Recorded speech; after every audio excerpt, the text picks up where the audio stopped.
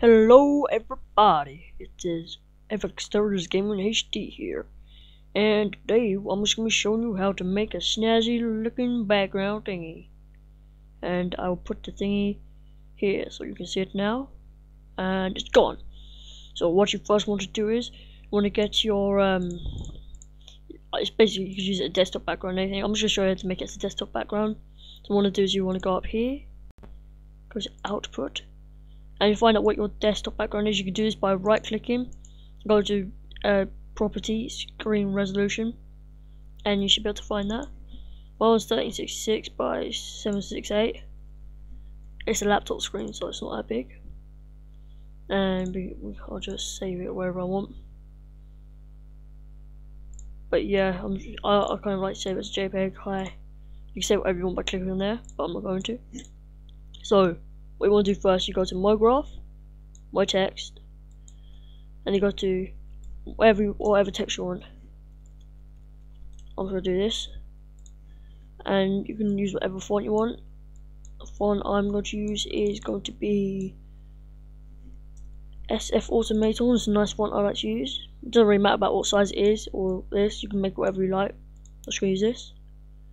The link for it will be in the description, so gonna line it to the middle.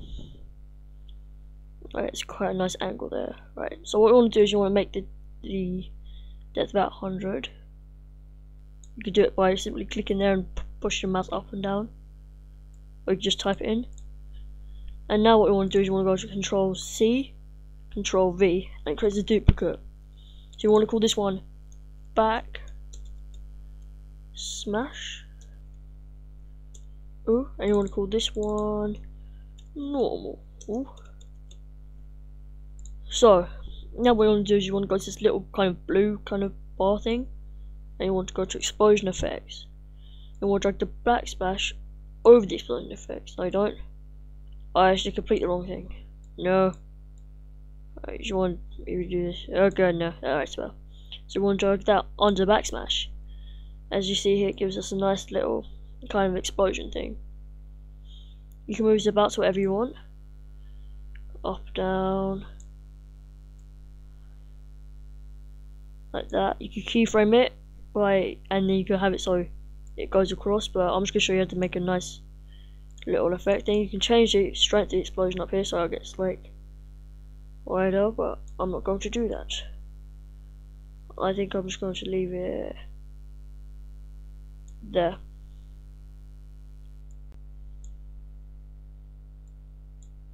Just going to bring the strength down a bit so I get more of the particles in.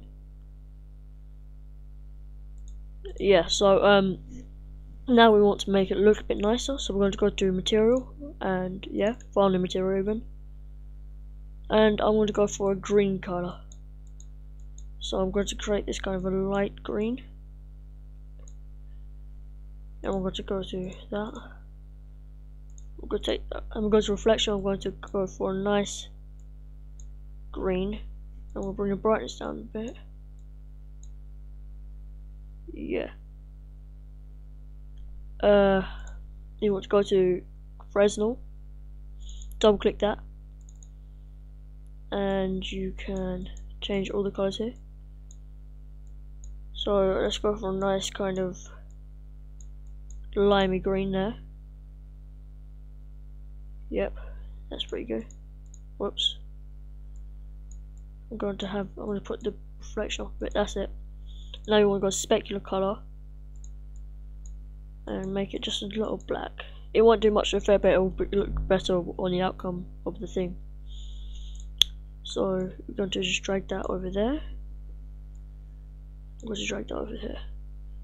And one thing you want to do is you want to go to the backsmash and you want to see this little blue one, you want to pull it back just a tiny bit. So there you go. So that you don't have it overlapping this one. So if you just click this, let render out. That's what you got so far. You can get different angles of it. But you're thinking, hmm, this is this is alright. It's not fantastic though. So wait, I'm just gonna drag this up here. That's that's better because you had the black. It's in there. I don't know. Right. Alright, let's just show for a second. Alright. Now what I want to do is you can get light and want to have the light selected. And where you drag it over, it'll have light effect coming from it. So if you see that, it goes bright, and if I put it away, it gets darker. But now, what you want to do is you want to have it. You want to get. God, this is not going well for me today. There you go, because generally you want to go color. I'm going to make it a nice light green. Actually, I'm going to go into here and do it. Yeah, I kind of like that.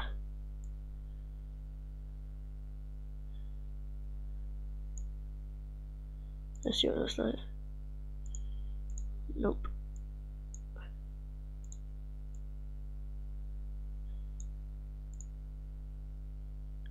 yeah, it's kind of nice. You can you can change this about. You can add more lights and stuff. So yeah, and um, now what you want to do is you want to go to background,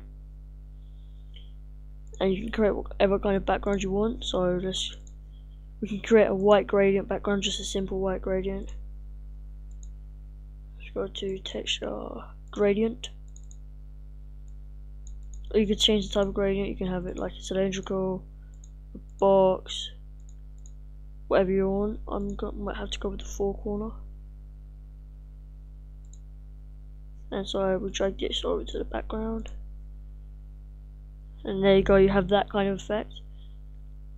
So you just want to render out and it should come up something like that. So guys, it's been FX Terrors. Remember to rate, like and comment the video and please subscribe. Because I want I want spam your sub boxes. I'll just have nice helpful tutorials. So guys, remember, um, this is how you create the awesomeness that is this. And you can mess about with this stuff. So guys, um, anyway, this is FX Terrors signing out.